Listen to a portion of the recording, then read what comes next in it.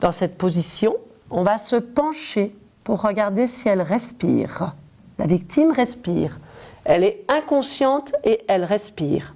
Elle ne peut pas rester dans cette position car elle risque de vomir et donc de s'étouffer avec ses vomissements. Il va falloir donc la mettre sur le côté.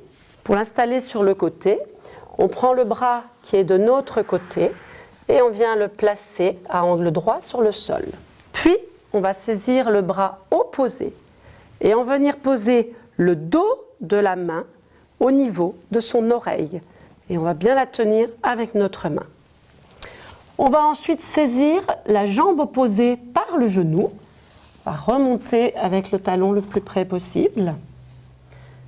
On va ensuite appuyer sur la jambe de la personne de façon à faire tourner tout son corps. On va ensuite venir bloquer le coude pour dégager lentement notre main sans faire bouger sa tête.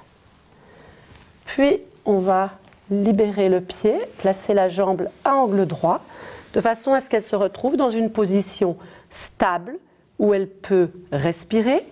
On va également lui ouvrir la bouche pour lui permettre de vomir ou que les sécrétions s'écoulent sans la gêner au niveau respiratoire.